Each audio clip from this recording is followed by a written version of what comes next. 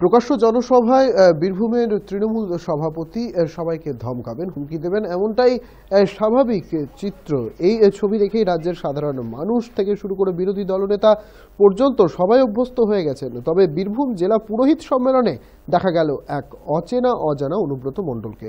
যিনি পুরোহিতদের কাছে তার বক্তব্যের জন্য মার্জনা চাইলেন এবং বললেন, আপনারা জ্ঞান দেবেন, আমরা শুনব। এটাই স্বাভাবিক।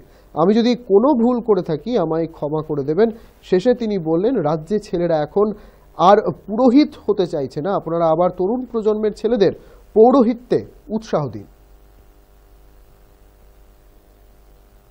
চারটে পাঠ, আপনারা জানেন চারটে পাঠ।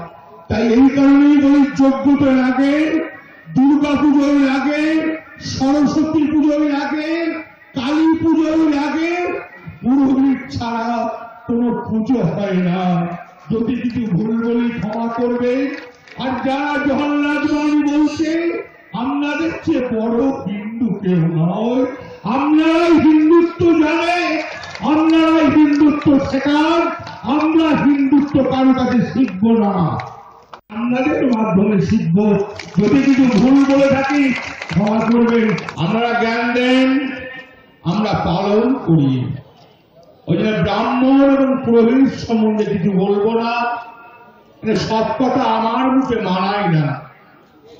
যারা টোলের পণ্ডিত আছেন, আপনারা শিক্ষা দেন।